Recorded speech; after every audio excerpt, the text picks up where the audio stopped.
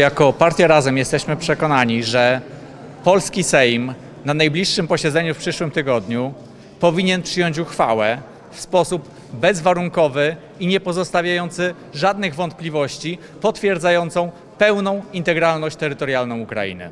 Ten głos jest ważny szczególnie w kontekście nieodpowiedzialnej wypowiedzi prezydenta Bidena. Ta uchwała powinna w sposób możliwie najbardziej jasny potwierdzać prawo ukraińskiego społeczeństwa do decydowania o sobie, prawo ukraińskiego społeczeństwa do wybrania drogi integracji z Zachodem. Potrzebujemy głosu polskiego Sejmu, który jednoznacznie powie, że Zachód jest na, to, na, na przyjęcie Ukrainy otwarty. Głosu, który potwierdzi europejskie aspiracje ukraińskiego społeczeństwa, który powie, że Unia Europejska jest otwarta na integrację z Ukrainą, a Polska jest tym głosem w Europie, który będzie na rzecz tej integracji działał.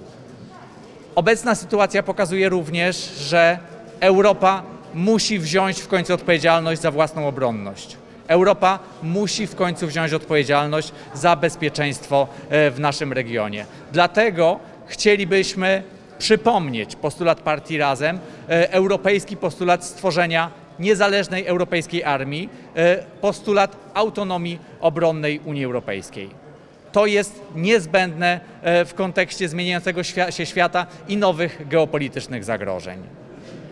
Polska musi i powinna być skutecznym, silnym głosem w Unii Europejskiej na rzecz integracji naszych wschodnich sąsiadów, na rzecz demokratyzacji Ukrainy i Białorusi, na rzecz włączenia naszych wschodnich sąsiadów e, do demokratycznej i dostatniej Europy. I niestety nieodpowiedzialna polityka obecnego rządu, skłócenie z Europą sprawia, że takim skutecznym głosem dzisiaj być nie możemy.